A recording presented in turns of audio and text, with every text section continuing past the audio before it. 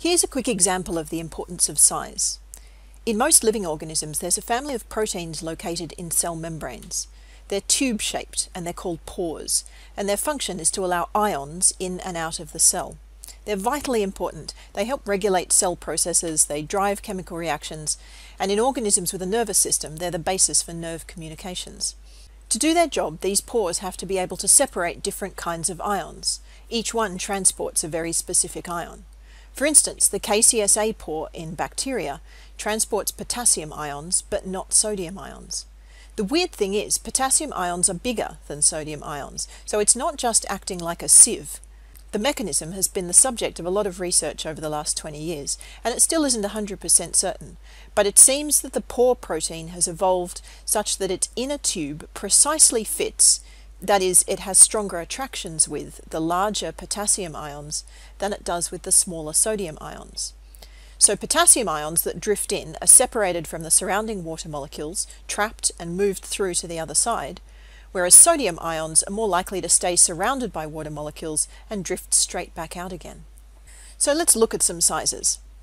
Now the sodium and potassium in that example I just gave you were ions, and we're looking here at neutral atoms, but the same basic principles apply. The diagram here shows the periodic table with the radii of the elements in picometers.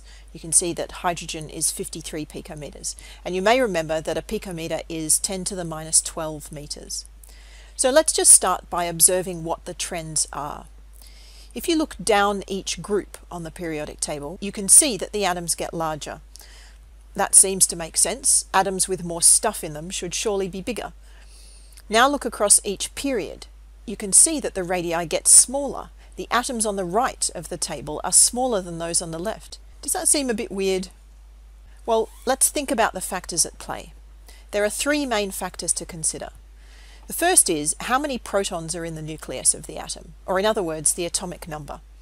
This determines how much positive charge the nucleus has, and because it is electrostatic attractions between the positive nucleus and the negative electrons that hold the atom together, the size of the nuclear charge, the charge on the nucleus, is important. The greater the charge, the more tightly the electrons are pulled towards the nucleus. So the trend here is that the more protons there are in the nucleus, the smaller the atom is. The second factor is the electron levels. Each electron shell in the atom is further from the nucleus than the last. So the more electrons an atom has, and the more electron shells are occupied, the larger the atom will be. The third factor also relates to the electron shells. Electrons in an outer shell don't feel the full force of attraction of the positive nucleus because the electrons in lower levels form a sort of negatively charged shield. So in larger atoms, electrons in the outer shells feel less attraction from the nucleus and so are not pulled as tightly towards it. This gives the same general trend as the second factor, so more electron shells, larger atom. So they kind of reinforce each other. So let's test our reasoning out. As you go down a group, the number of protons in the atoms is increasing, so that would mean a smaller atom.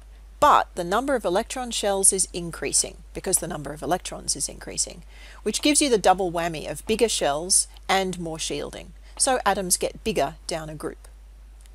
Going across a period, the number of electron shells in the atoms stays the same because they're all in the same period, they all have the same valence shell. So no change there. But simultaneously, the number of protons in the nucleus is increasing. So the electrons are pulled more tightly in and the atoms get smaller.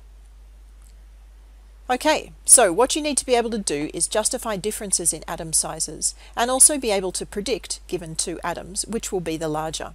Test yourself. Pick random elements from the periodic table, make a prediction, justify your choice to yourself, and then check your answer on this table.